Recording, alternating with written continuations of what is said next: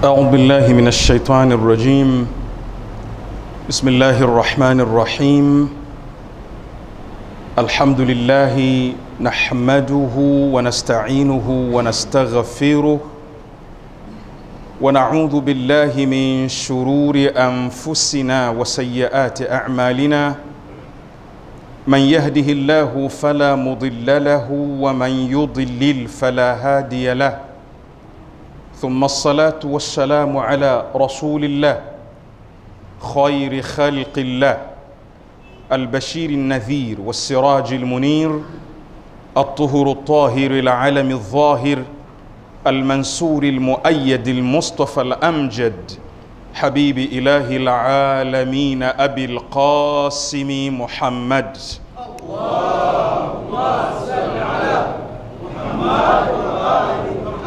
وعلى أهل بيته الطيبين الطاهرين وأصحابه المنتجبين وبعد.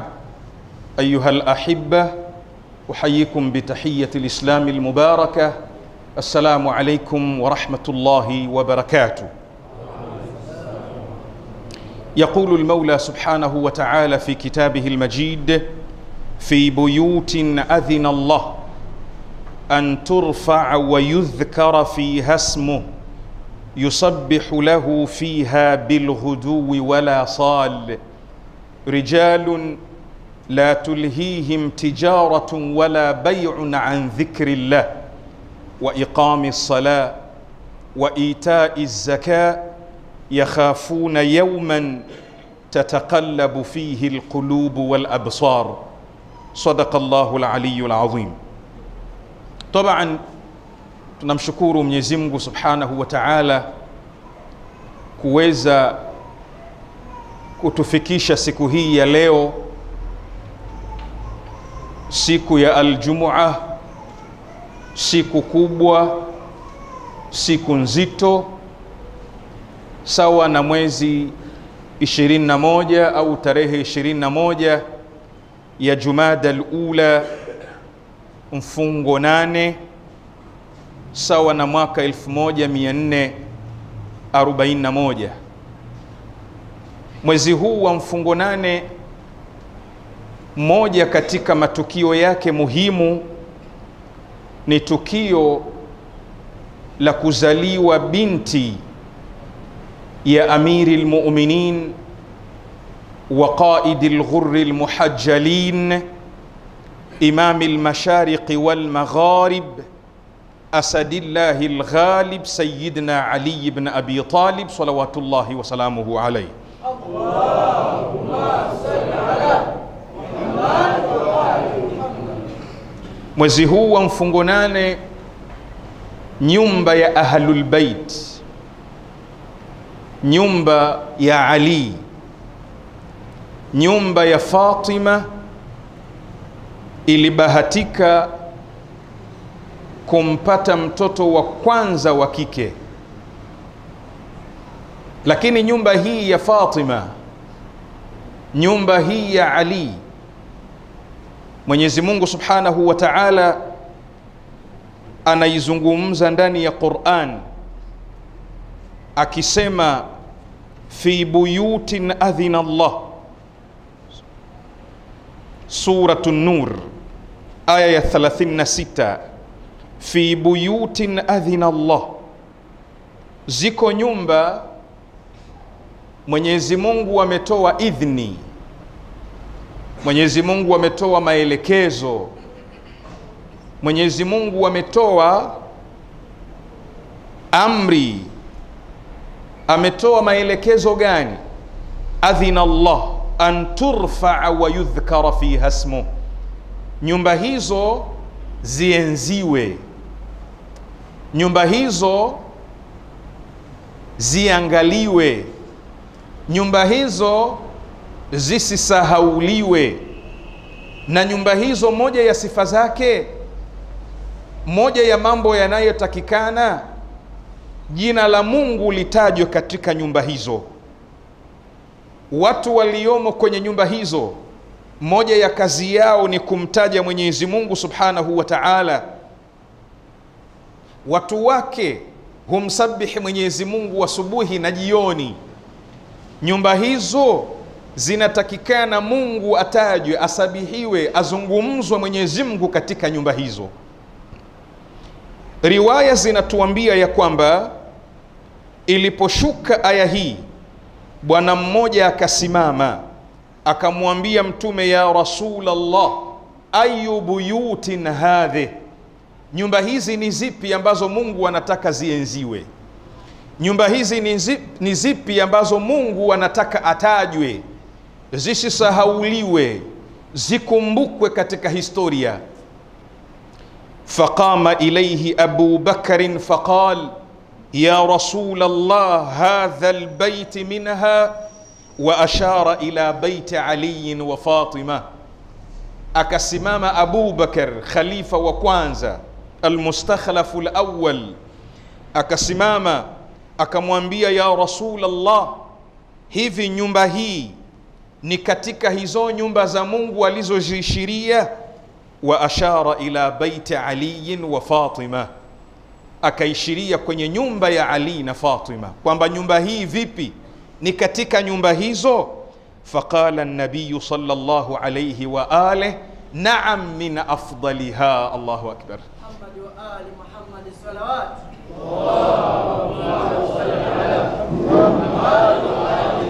Naam min afdaliha, ndiyo nyumba hii ni min afdaliha, ni katika bora zake, sio uh, sio zimo katika hizo aa, ni katika bora zake. Nyumba alizoamrisha Mwenyezi Mungu zienziwe, ziangaliwe, zisisahauliwe, zikumbukwe, Atajwa Mwenyezi Mungu ndani yake. Nyumba ya kwanza ni misikiti. Sasa je, nyumba ya Ali na Fatima ambayo ndiyo nyumba aliyozaliwa Zainabu binti Ali, nyumba hizo ni katika nyumba kama misikiti? Mtume anasema la min, naam min afdaliha, ni bora zaidi kuliko hizo nyingine ambazo umezitaja. Naomba salawatu.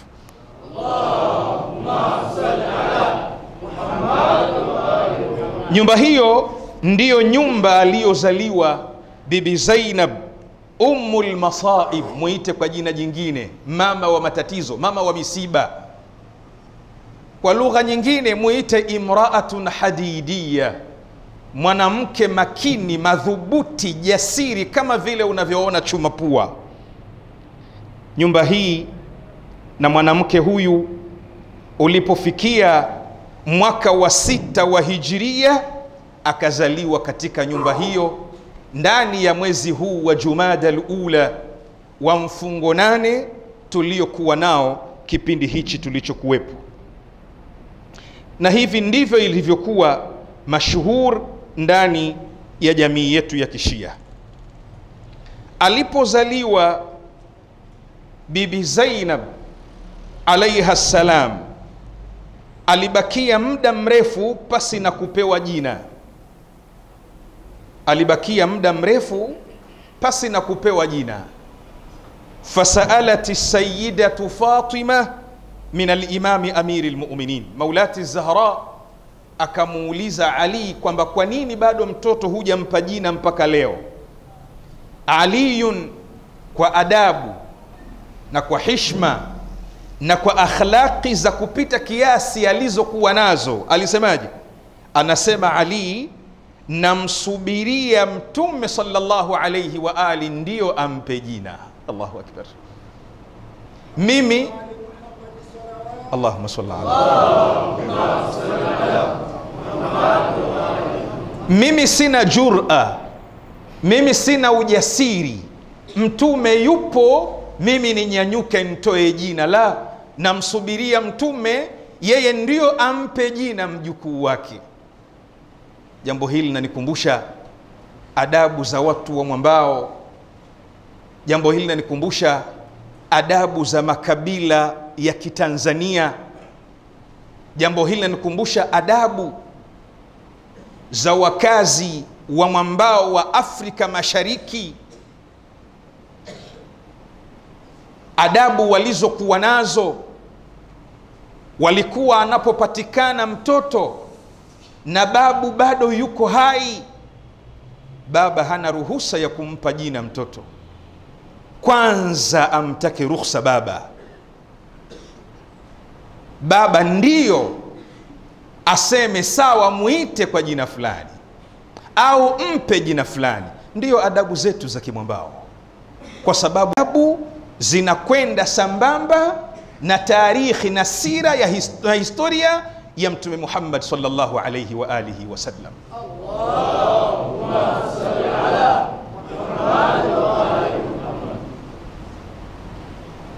lakini si hivyo tu bali nakumbuka mwambao wetu huu na watanzania wetu hawa na hususan waislamu. Alikuwa hata kijana wa kiislamu anapopata mtoto mwanafunzi anapopata mtoto basi hampi yeye jina. Kwanza lazima aende kwa shekhe wake. Shekhe mke wangu amepata mtoto mepata mtoto wa kike mepata mtoto wa kiume. Nataka umchagulie jina. Nataka wewe ndio umtaje adabu adabu hizi zina asli sasa angalia virozo na maajabu. Fatimatu zahra akambeba zainab akenda naye kwa mtume muhammad. Alipofika kwa mtume akamwambia ali mtoto hajampa jina na kusubiria wewe. Mtume naye sallallahu alaihi wa ali kwa adabu alizokuwa nazo hakukurupuka na yeye akatoa jina.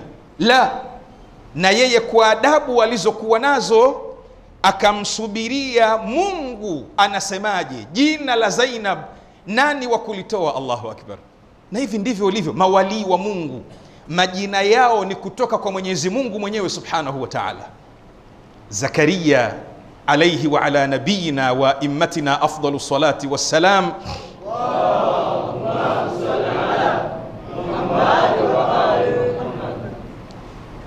alipolalamika kwenye mihrab akasimama amekuwa mtu mzima hawezi kuzaa tena na mkewe naye amekuwa mtu mzima hanna hawezi kuzaa tena. Akamlilia mungu mungu naomba unipe mtoto. Jibraili akamtokea akamwambia utapata mtoto? Na mtoto utakayempata jina lake litakuwa kadhaa. Jina pale pale likatoka kwa nani? Likatoka kwa jibrail taban kwa mwenyezi mungu subhanahu wa taala. Lam najal lahu min qablu samiya hatujawahi kumwita mtu yoyote jina la yahya. Huyu ndiyo mtu wa kwanza kuitwa yahya. Akazaliwa yahya ya yahya khudhi lkitaba biquwa wa atainahu lhukma sabiya kwa hivyo mawalii wa mungu majina yao ni kutoka kwa mwenyezi mungu subhanahu wa taala. Sayyiduna muhammad sallallahu alayhi wa alihi wa sallam.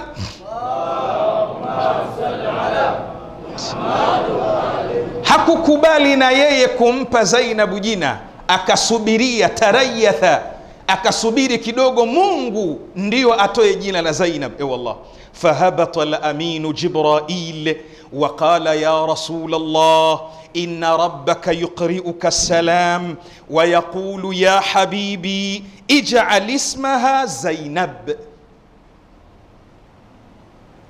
Akashuka alaminu Jibrail akamwambia, ewe mtume wa Mungu, Mungu anakupa salamu, anakusalimia anakuambia ewe kipenzi changu mtoto huyu mwite jina la zainab.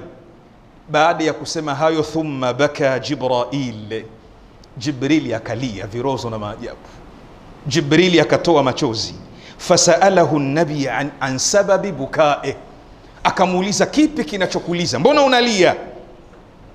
Faqal inna hayata hadhihi lbint saufa takunu maqrunatan bilmasaibi walmataib min bidayati umriha ila wafatiha. E wallah.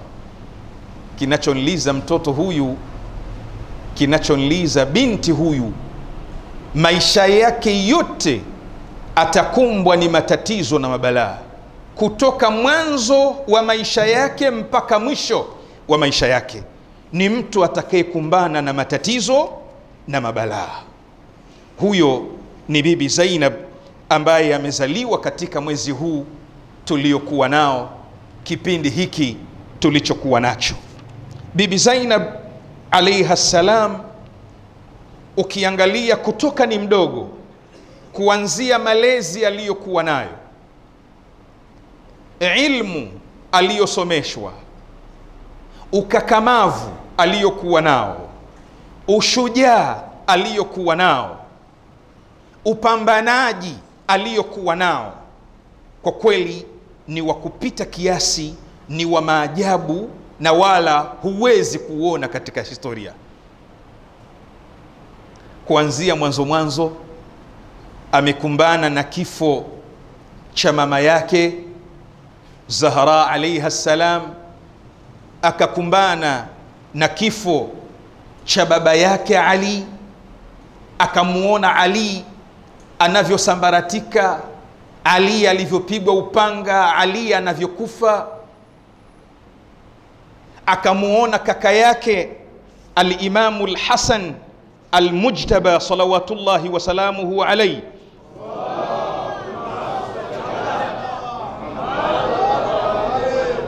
kaka yake alivyopewa sumu, sumu kali nzito, sumu iliyosababisha miguu yake imvimbe, sumu iliyomsababisha awe amewekewa besen. Alimamu Lhasan Almujtaba anatapika mapande mapande ya nyama.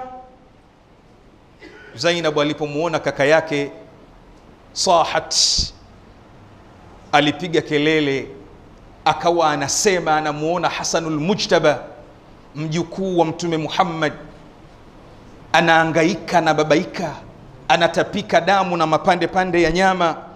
Zainab anamuona kaka yake anasema, wa akha wa huzna, e kaka yangu, huzni iliyoje!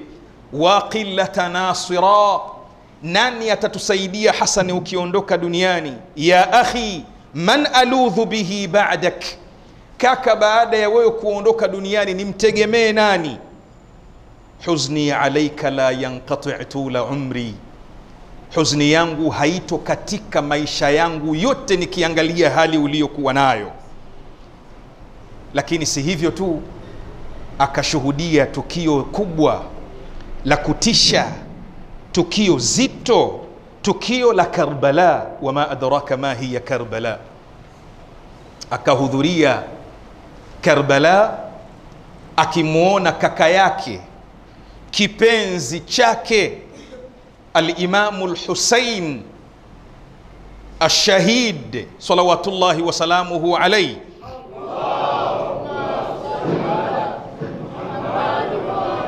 akimwona akiuawa mauaji ya kikatili, mauaji ya kinyama ambayo hayajawahi kutokea katika tarikhi.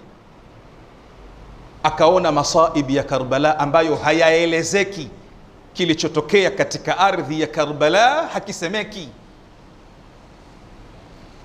Alimamu Alimam al-Hujja, imamu wa kumi na mbili, khalifa wa mtume wa kumi na mbili, kiongozi aliyeachwa ni mtume wa kumi na mbili,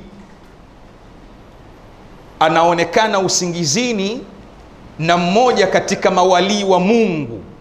Imamu Lhuja analia kweli kweli, siku za Muharram, siku za Ashura. Walii huyu na mwanawachuoni huyu anamwambia Maulaya wa Sayidi, nyenye ahlulbeiti, masala ya kufa ni kawaida kwenu, kuuawa kwenu ni kawaida, mbona unalia kiasi hiki? Anaambia ni kweli, sisi kuuawa ni jambo la kawaida. Ma minna illa masmumun au maqtul, la ilaha illa Allah. Soma tarikhi ya Ahlulbeit kuanzia babu yao Ali mpaka kufikia imamu wa kumi na moja, imma ameuawa kwa sumu au ameuawa kwa upanga. Anaambia ni kweli, alqatlu lana ada wa karamatuna min Allahi shahada, ni kweli sisi kifo ni kitu cha kawaida kwetu. Lakini je, umeshawahi kuona binti ya mtume mjukuu wa mtume wa kike akikamatwa mateka, akifungwa nyororo, akitembezwa mitaani? Hili nalo ni jambo la kawaida? Allahu akbar, si jambo la kawaida. Kwa hivyo Bibi Zainab ameshuhudia mengi, ameshuhudia makubwa, lakini ikutoshe tukio la Karbala, lau si uwepo wa Bibi Zainab tusingetambua yaliyotokea katika ardhi ya Karbala. Yeye ndiye aliyeibeba Karbala na yeye ndiyo aliyeamsha hisia za watu wa Sham wakawatambua ahlulbaiti salawatullahi wasalamuhu alaihim.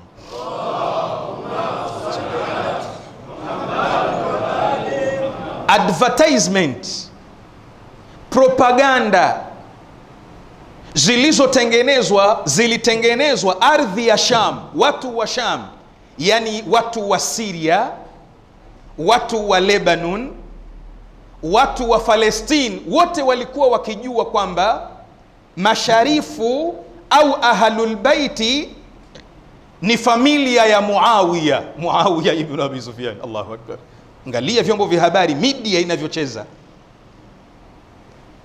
Ahlulbaiti hawajulikani. Muawiya na familia yake ya Bani Umayya ndio wanaojulikana, ndio masharifu na kizazi cha Mtume. Nani aliwabadilisha watu wa Sham? Aliyowabadilisha ni ushujaa na ujasiri wa mama huyu binti ya Ali salawatullahi wasalamuhu alaiha.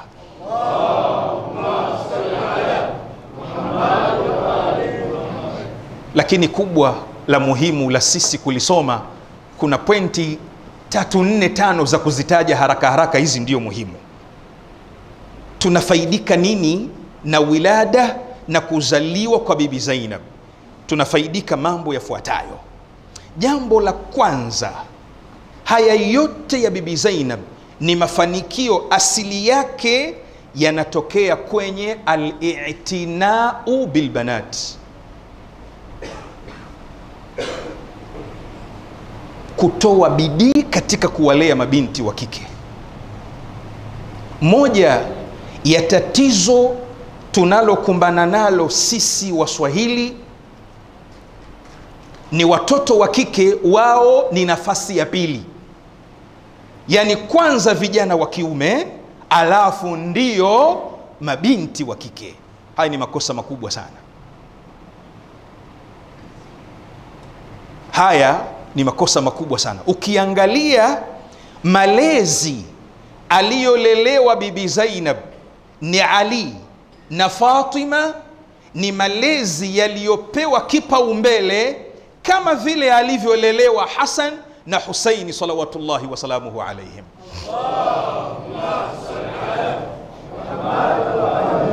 Kuna haja kubwa ya sisi kubadilika, kama vile tunavyotoa bidii katika kuwalea vijana wa kiume, bidii ile ile ielekezwe kwa, kwa, kwa mabinti zetu, bali naweza kusema mabinti kuna haki ya kuelekeza malezi zaidi hata kuliko watoto wa kiume. Kwa nini? Kwa sababu binti mwanamke mmoja aliyesoma, ukimsomesha wewe umetengeneza jamii, umesomesha jamii. Unapomsomesha mwanamume mmoja, umesomesha mtu mmoja, lakini ukiwasomesha, ukimsomesha mwanamke mmoja, umesomesha community umesomesha jamii, umesomesha watu zaidi ya mmoja. Na ndiyo hapa ukaona falsafa ya Mtume Muhammad sallallahu alayhi wa alihi wasallam,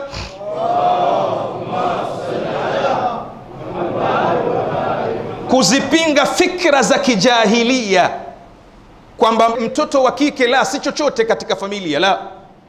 Mtume akaonyesha upendeleo, akaonyesha mwangalizo wa hali ya juu kwa mabinti wa kike, mpaka akashangaliwa. Moja ya Waarabu waliomshangaa Muhammad ni jambo lake la kujali wanawake. Hawa wanawake ni daraja la pili, sio daraja la pili, daraja la tatu. Kisoma historia ya Uingereza mpaka juzi juzi, karne ya jana, Uingereza eh, ambayo ndiyo baba wa siasa ya dunia mpaka juzi juzi kipindi cha King Henry wanawake walikuwa hawaruhusiwi kushiriki kwenye uchaguzi wala kupiga kura. Ukiwasoma Mayahudi, mwanamke kwao alikuwa ni najisi, haruhusiwi kuingia nyumba takatifu. mwanamke haruhusiwi kuingia msikitini kwenye hekalu na ndiyo zakaria akapambana na changamoto alipomchukua maryamu akamleta karibu na hekalu karibu na msikiti. Ya maryamu qnuti lirabbiki wasjudi warkai maa rakiin. Maryamu akaingia msikitini ilikuwa ni virozo na maajabu. Zakaria ametuletea virozo. Mwanamke ameingia msikitini. Mwanamke ni najisi. Sayiduna si hivyo tu waarabu nyote mnatambua. Wao walifikia daraja ya kumzika mzima.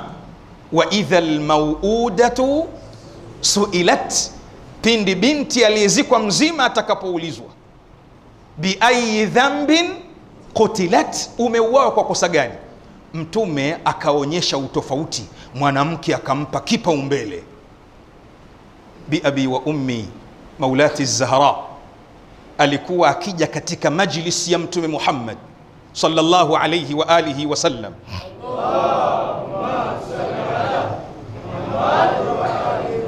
mtume alikuwa akimsimamia fatimatu zahra binti ya kike.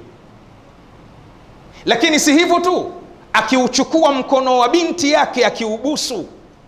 Si hivyo tu akimkalisha pale mahala alipokuwa anakaa yeye mwenyewe. Naomba salawatu kwa ajili ya hilo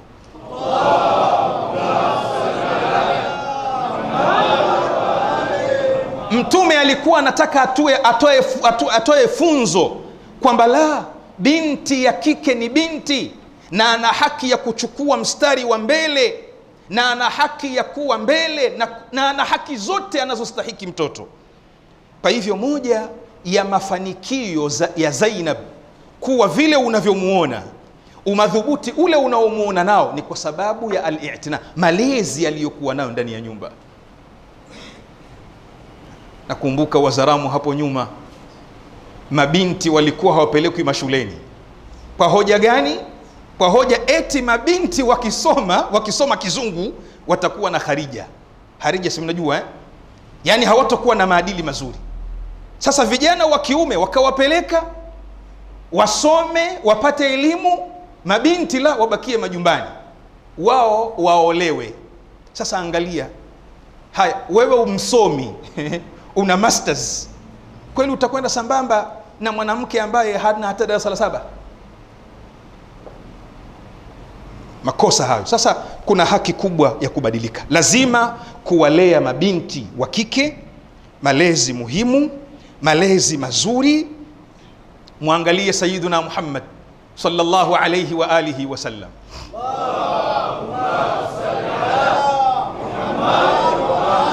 anasemaje? Man ala thalatha banatin.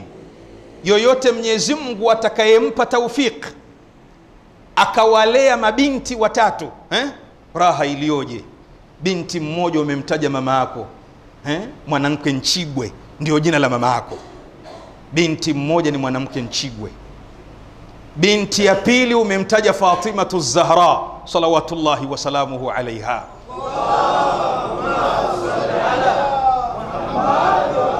binti ya tatu umemtaja zainab binti aliyin salawatullahi wasalamuhu alaiha.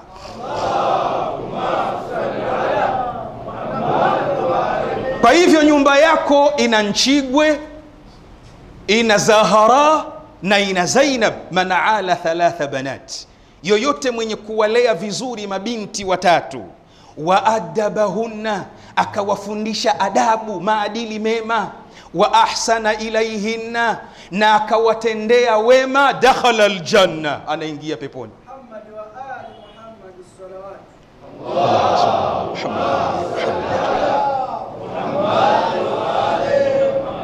Angalia malezi haya ya mabinti wa kike. Kwa nini tarkizi hii kwa mabinti wa kike?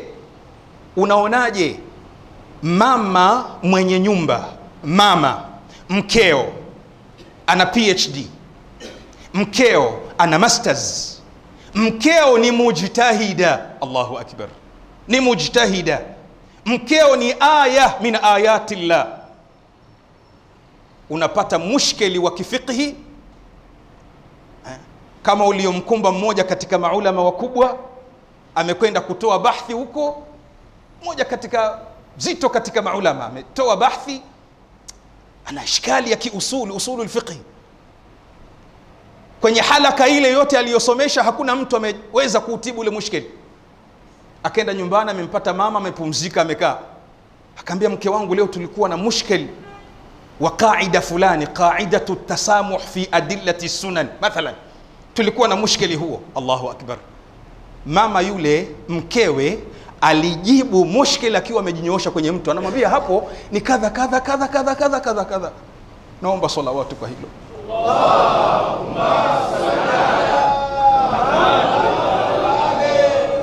hivi unamwonaje mke huyo ndani ya nyumba? Watoto watawalea vipi? Taban watalelewa watoto wacha mungu? Watalelewa watoto watu wa takwa, watalelewa watoto wasomi? Watalelewa watoto atatokea ndani ya nyumba binti anaitwa fatima na anarusha ndege yetu ya tanzania.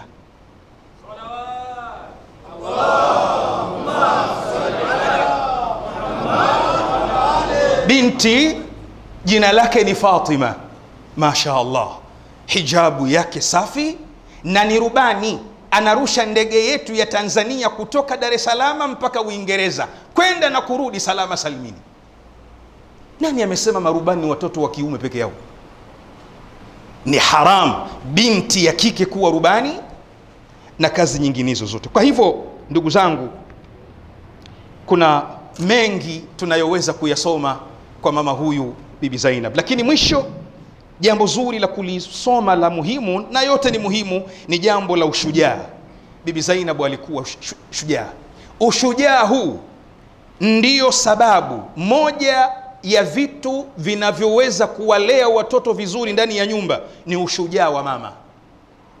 Mama akiwa legelege baba atatoa maelekezo mama hatofuata maelekezo yale kwa sababu amekosa ushujaa. Uchamungu ambao ni muhimu ndani ya nyumba kumtambua mungu imani, kuwa na dini haya yote watoto watasifika nayo itakapokuwa mama ana sifa ya ushujaa yuko ngangari hateteruki yuko makini na kumtambua mwenyezi mungu mmoja. Jambo la mwisho ambalo nilikuwa napenda niligusie ambalo napenda tuliangalie na tujaribu kuliombea mungu ni jambo la shule zetu. Nadhania sisi tumefungua mashule mashule yamefunguliwa kipindi hiki tulichokuwa nacho kuna changamoto nyingi zinazowakabili mababa zinazowakabili watu wanaosomesha lakini kuna changamoto vile vile zinaokabiliana na malezi. Moja ya changamoto hizo ni utoro mashuleni. Ukijaribu kuangalia sensa za watafiti mashuleni kuna utoro wa kupindukia ukiangalia sensa na ukifuatilia mahesabu ni jambo la kusikitisha katika upande wa malezi. Jambo la pili mmomonyoko wa maadili uliopo kwa vijana mashuleni. Ni mmomonyoko wa kupita kiasi kwa kweli wa kusikitisha. Ukielezwa yanayotokea mtoto anaaga kwenda shule lakini mtoto huyu huyu haingii darasani anaingia vijiweni ima anabeti ima anacheza kamari au anavuta bangi au anaingia kwenye ulimwengu wa madawa ya kulevya. Mmomonyoko wa maadili mashuleni. Lakini vile vile jambo la kusikitisha ni hizi mimba za utotoni zilizopita kiasi. Nadhania ni jambo la kusikitisha ni jambo linahitajia malezi ya wazazi. Wazazi wawe macho. Wazazi wawe makini. Wazazi wasiwaache tu walimu mashuleni wao ndio wawasimamie watoto wao. La wazazi washiriki wasaidiane na walimu katika kuhakikisha mahudhurio ya watoto wao. Wazazi wasitosheke tu kwamba mtoto amekwenda shule lazima afuatilie je shule ameingia darasani amefika? Shule amesoma? Hili jambo lisiachiwe tu e, walimu. Ni jambo lina mahusiano na malezi nimeona niligusie kwenye kipindi hiki ambacho mashule yetu yamefunguliwa na watoto wanakwenda mashuleni lakini jambo jingine ambalo tuligusie ni jambo la hali ya hewa na mvua zilizokuwepo zinazoendelea baadhi ya sehemu ya tanzania. Kuna haja kubwa ya kumwomba Mwenyezi Mungu Subhanahu wa Ta'ala mvua hizi ziwe mvua za kheri. Sayyiduna Muhammad sallallahu alayhi wa alihi wa sallam.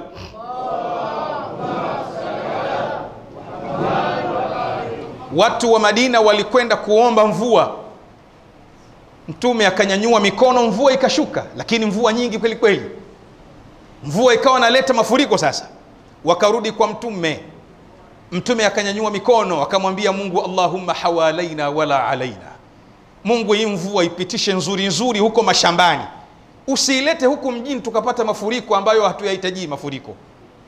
Kwa hivyo kunahitajia kumwomba Mwenyezi Mungu Subhanahu wa Ta'ala mvua hii aweze kuipitisha salama, na waliolima basi wavune mavuno yaliyokuwa mazuri, kwa sababu mwaka 2019 shirika la chakula duniani FAO limetoa hesabu, linasema duniani watu milioni 820 walikuwa wana njaa, hawawezi kumiliki chakula chao duniani.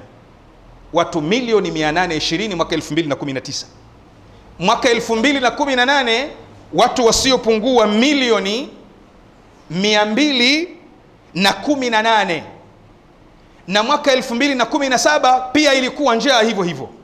Kwa hiyo ukiangalia miaka mitatu mfululizo dunia ina tatizo la njaa, dunia ina tatizo la njaa, na zaidi ya hivyo ni nchi za Afrika pamoja na nchi za Asia. Kwa hivyo kuna haja kubwa ya kumwomba Mwenyezi Mungu mvua hizi ambazo zinanyesha na hali hii tuliyokuwa nayo, Mwenyezi Mungu aibadilishe iwe hali nzuri, isiwe hali ambayo itaweza kutuletea madhara. Bismillahir Rahmanir Rahim, inna a'tainaka al-kauthar fasalli lirabbika wanhar shani'aka huwa al-abtar. Yaqulu al-Mawla subhanahu wa ta'ala fi kitabihi al-majid إن الله وملائكته يصلون على النبي يا أيها الذين آمنوا صلوا عليه وسلموا تسليما.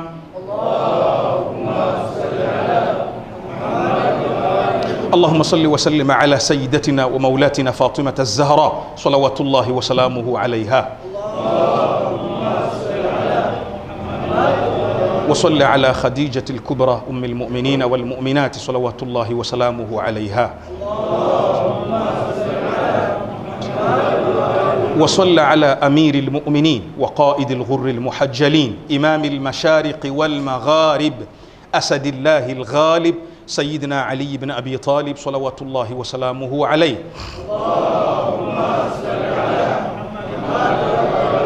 وصل على سبطي الرحمة وإمامي الهدى الحسن والحسين سيدي شباب أهل الجنة صلوات الله وسلامه عليهما.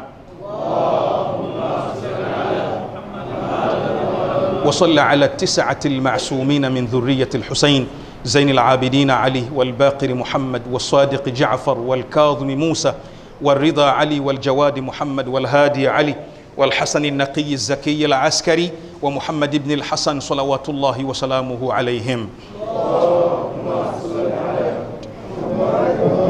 اللهم أعز الإسلام والمسلمين وأذل الشرك والمشركين نقص أعداءك أعداء الدين واختم لنا منك بخير يا أرحم الراحمين. صلى الله على محمد وآله الطاهرين مع الصلوات.